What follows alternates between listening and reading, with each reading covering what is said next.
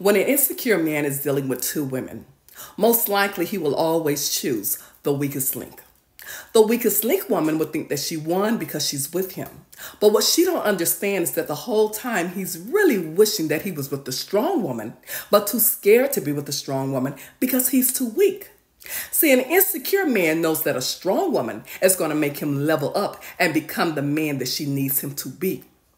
An insecure woman will accept him as is, bad behavior and all, because she's weak with a very low self esteem.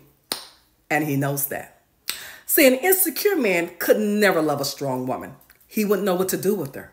So instead, he settles down with the insecure, low self esteem woman, wishing the whole time he had the guts and the strength to really be with the strong woman. And this is why I tell my independent ladies choose wisely.